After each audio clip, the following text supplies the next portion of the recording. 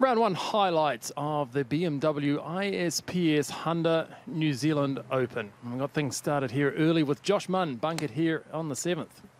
Yeah, seventh at Millbrook. You can see the weather not very pleasant early on, and it's a wonderful bunker shot from Munn.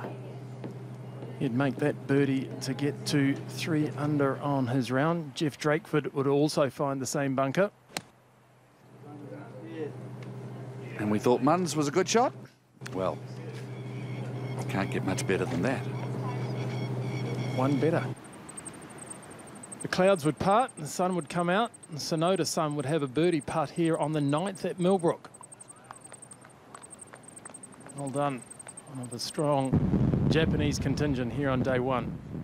Now, this was the second shot at the par 5 18th from Josh Munn going at the green at this stage five under. And unfortunately, that ball would find its way out of bounds difficult off the downslope. He would have this for bogey.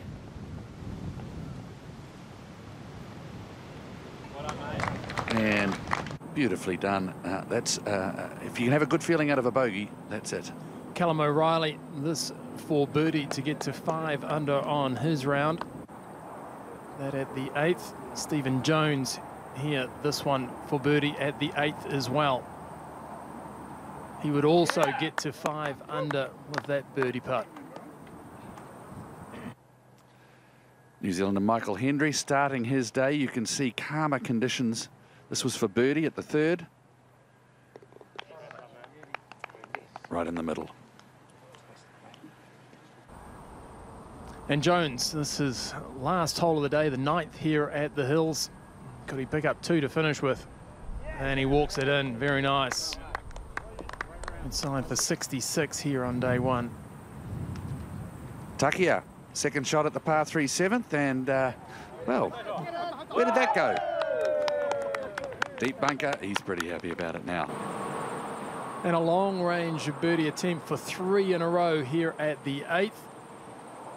Oh, a little assist.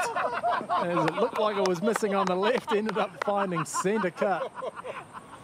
I think they're pretty happy about that, and why wouldn't you be? Now from the front of the ninth, coming up the tier, always difficult to judge the speed on putts like this, but not for Daniel Pearce. That was in for birdie.